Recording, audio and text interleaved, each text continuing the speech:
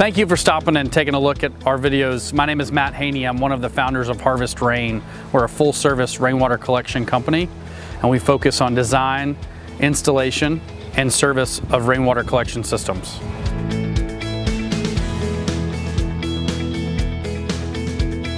We're standing here in front of two 15,000 gallon rainwater collection tanks made by our partners over at Contain Water Systems. These tanks are galvanized metal exteriors with a 20 year warranted bladder on the interior that holds all the water. These two tanks serve as the only water source for this home uh, here in Dripping Springs. Got a family of five living in this property. This is their primary and only water source. This particular customer has requested a two and a half inch fire department connection.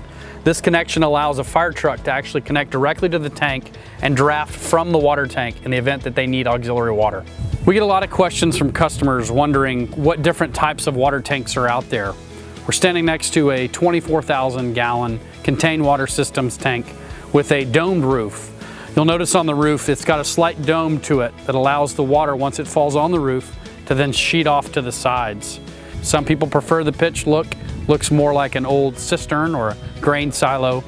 This cistern with the flat roof, which actually keeps the tank more out of view. I never use the term hiding a water tank.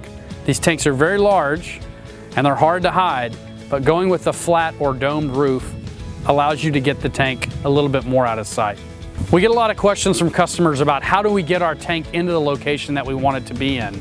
The easy answer is we build these tanks on site piece by piece, section by section, and then insert the liner to hold the water.